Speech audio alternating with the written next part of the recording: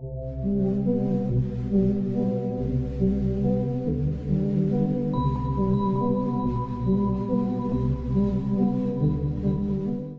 Mingling of the Golden Souls. A methoxphenidine and mushrooms trip report by the Chemical Kid on Erowid. Published October 15th, 2015.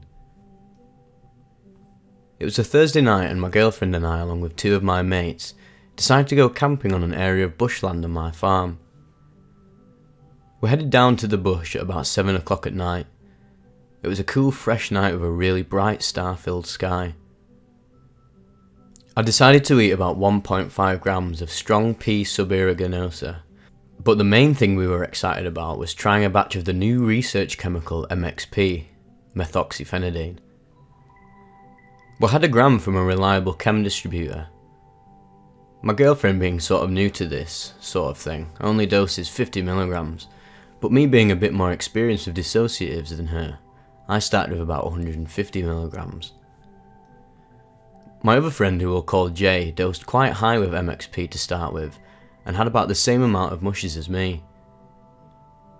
After he started to trip he got very confused and sort of kept drifting in and out of consciousness, sort of like his mind would leave his body for a while, and then come back again every now and then. We had three mattresses laying on the ground around the campfire, so we got him to lie on these and kept an eye on him for the rest of the night.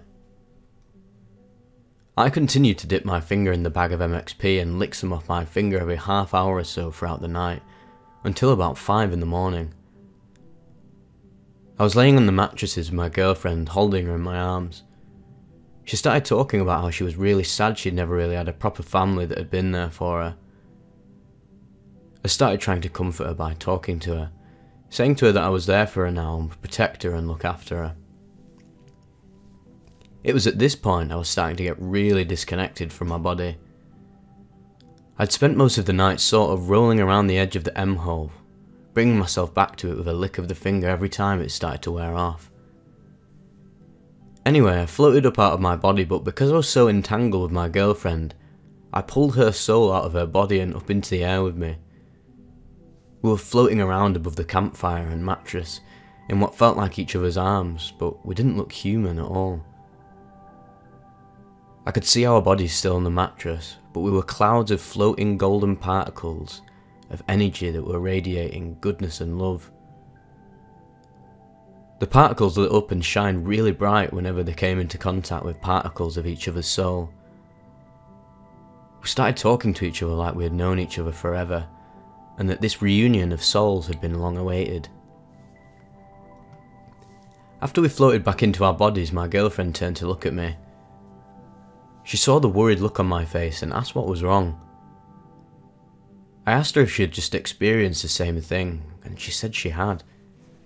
She even described it exactly as I had experienced it with the floating particles and positive energy. She had also seen our bodies below us.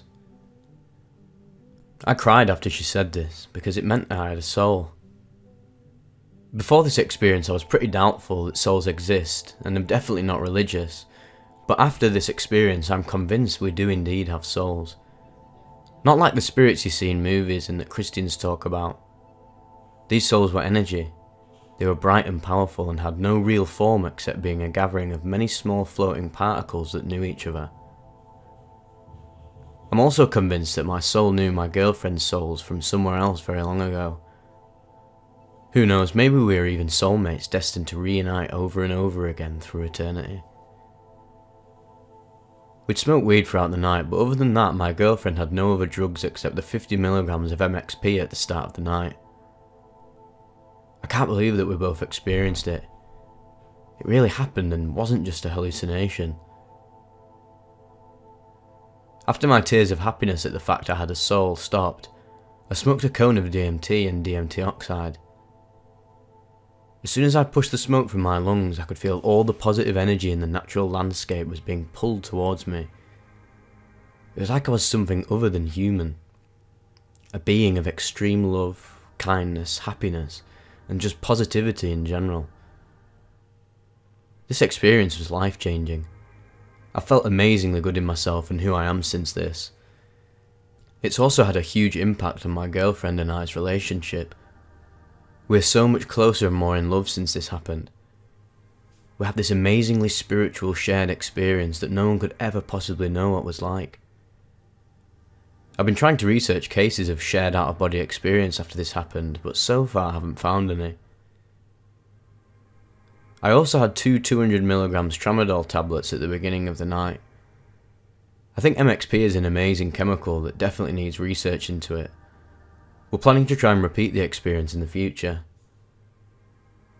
I think the fact we were lying together so entangled to start with, and the fact that we were having such a discussion about love, is what led me to being able to carry her soul from her body to comfort her.